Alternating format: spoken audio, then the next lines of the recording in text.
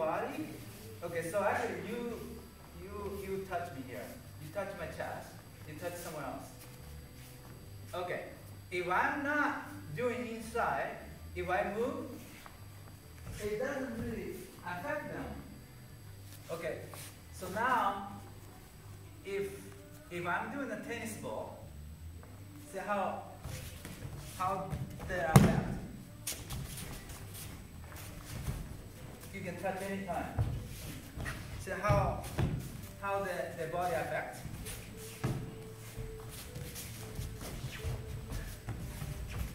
Okay, so if you, I really want you guys to actually remember the tennis ball.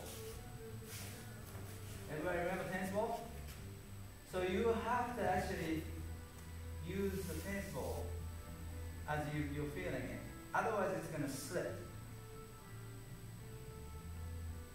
If you're slipping, they still have their 100% balance. If, if you have a gear, they're off. Right? So you're the motor. You gotta you gotta have to become a motor. So like a car, when the engine starts, everything works. Right? It's not just the tires. Everything else you connect to the car, it's gonna work, right? So you have to actually use your engine. You have to use your steering. Otherwise you won't affect. Right?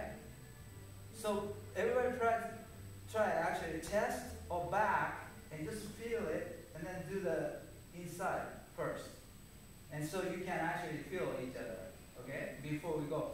That's number one. If you skip that, then you always, let's say technique methods is one, two, three, four, five.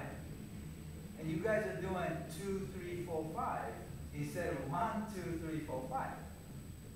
So of course, it looks the same from outside, but it's not the same technique. Do you guys understand? Yeah? So, so you, you really have to actually start with number one. Okay, so could you please pair up again? Do number one. Don't skip. Try to just practice number one. Okay? Now, otherwise, no sense to practice two, three, four, five. Well, of course, but it's gonna add up.